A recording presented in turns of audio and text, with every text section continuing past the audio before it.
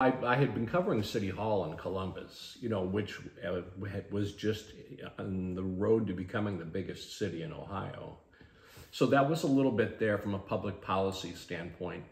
Um, reporters always think they know more than the people they're covering too. So I had a certain, you know, reporters confidence that I understood things better than the people who were doing the, the policy making themselves.